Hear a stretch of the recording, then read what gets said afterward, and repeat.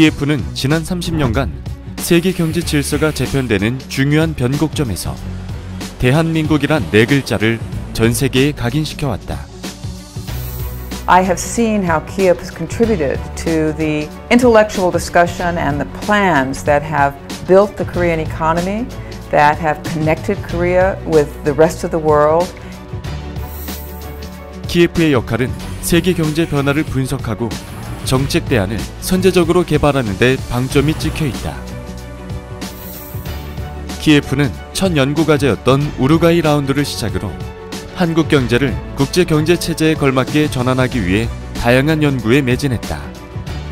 I think the Korean economy has looked to keep research on key issues in the world economy throughout the turbulent changes over the 30 past years.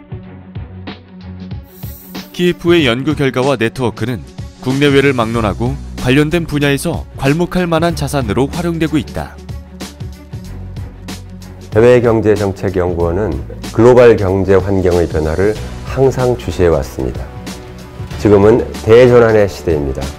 디지털 무역, 환경, 기후변화 등 새로운 이슈들로 전환기를 맞이하고 있는데 이런 새로운 이슈들을 연구하고 국가 정책에 반영할 수 있도록 준비하는 것이 국책연구기관인 대외경제정책연구원의 역할이라고 생각합니다.